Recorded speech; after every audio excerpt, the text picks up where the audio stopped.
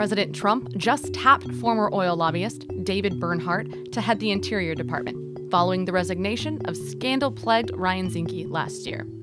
Here's what you need to know.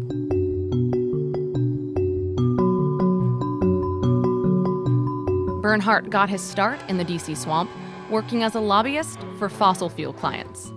As an official in George W. Bush's Interior Department, Bernhardt helped craft plans to open the Arctic National Wildlife Refuge to oil drilling. As Ryan Zinke's number two, Bernhardt limited the paper trail, showing his exact role in decisions that could benefit his former clients. In August, Zinke issued an order to, quote, maximize water supply, end quote, for agribusiness in California's Central Valley, a move that helps a water district Bernhardt once represented. Bernhardt, who repped Alaska in its bid to expand oil exploration, has taken steps to speed up the environmental reviews for oil projects in the Arctic National Wildlife Refuge.